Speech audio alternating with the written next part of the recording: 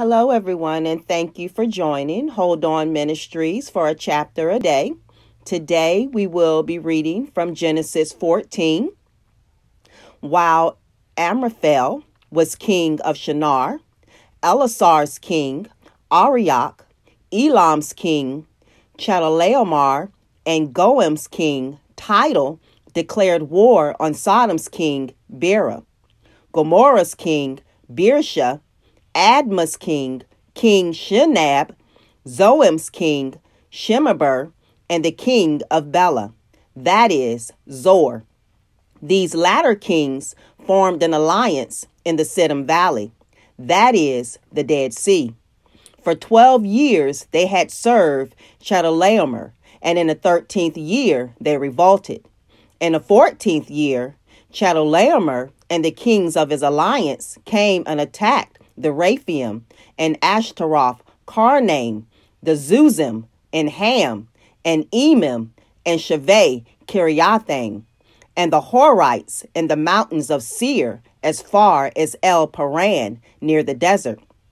Then they turned back, came to En Mishpat, that is Kadesh, and attacked the territory of the Amalekites, as well as the Amorites who lived in Hazazon Tamar.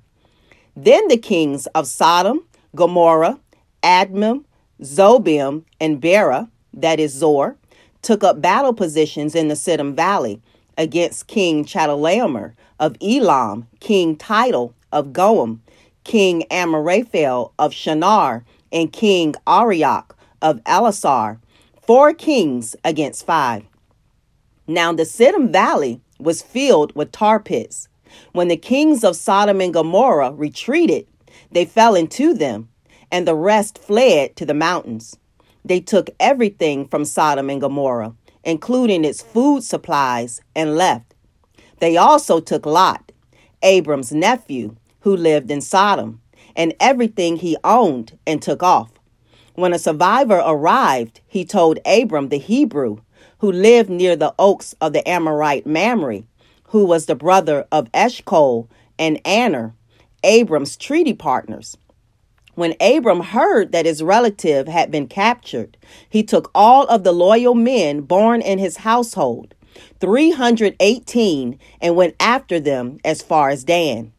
During the night, he, he and his servants divided themselves up against them, attacked, and chased them to Hobah, north of Damascus.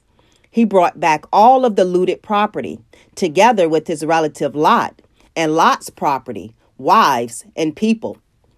After Abram returned from his attack on Chedorlaomer and the kings who were with him, the king of Sodom came to the Shaveh Valley, that is, the king's valley, to meet him. Now Melchizedek, the king of Salem, and the priest of El Elyon had brought bread and wine, and he blessed him. Bless Abram by El Elyon, creator of heaven and earth. Bless El Elyon, who gave you the victory over your enemies. Abram gave Melchizedek one tenth of everything. Then the king of Sodom said to Abram, Give me the people and take the property for yourself.